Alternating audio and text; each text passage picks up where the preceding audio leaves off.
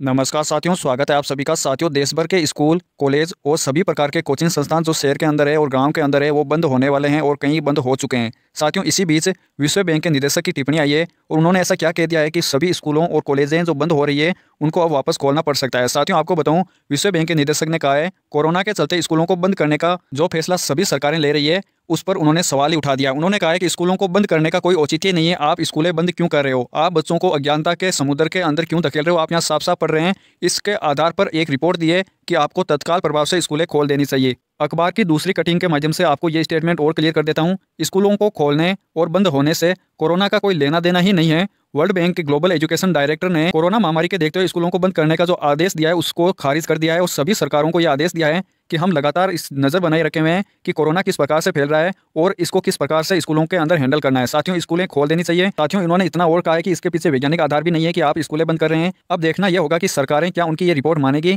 क्या स्कूलें वापस खुलेगी, क्या परीक्षाएँ इस बार होगी या नहीं होगी। जो भी इस पर एक्शन होगा सरकार का मैं आपको तत्काल प्रभाव से बता दूँगा तो चैनल को सब्सक्राइब करके रखें।